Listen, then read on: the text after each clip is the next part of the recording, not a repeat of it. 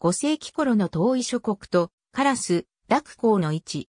カラス、楽港は中国の北朝時代から東大にかけて現在の内モンゴル自治区のフルンボイル市あたりに住んでいた遊牧民族。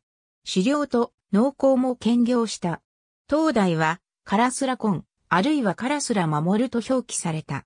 太平幕2 4年、カラス、楽公は初めて中国に入庁した。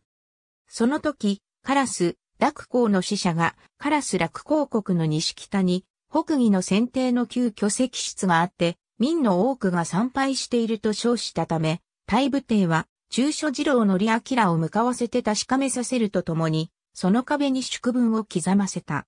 東大は、カラスラコン及びカラスラ守ると呼ばれた。上岸6年、カラスラコンの勲長が剣士を送って天川を献上させた。その後のカラスラコンは失意に吸収されたらしく、失意の構成部族の中にカラスラ守る部落というのが見える。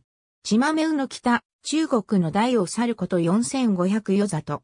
カラスラク公国の西北には、関水があって、東北の南水と合流し、その他の小水もすべて南水に注いで、東の海に出る。また、西北へ初海区と、海に大水すなわち北海がある。つまり、カラスラク公国は、現在の中華人民共和国内モンゴル自治区、フルンボイル市にあたる。東大の周辺国としては、東にマッカツ、西に特血、南にキッタン、北にカラスマがあった。冬は地下に部屋を掘り、夏は牧畜をする。イノコが多く、国幕がある。大勲長はおらず、部落のバクドルが代々治めてきた。髪型は縄髪で、革の服を着て玉を装飾として身につける。民は勇ましく、関節をしない。両者を得意とする。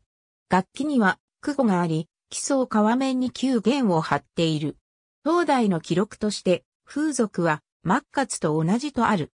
旧東女列伝第149下1980年に、大港安霊山無薬北部の森林で発見された、活船道のこと。いわゆる右岸族であるが、この時代にも存在したようである。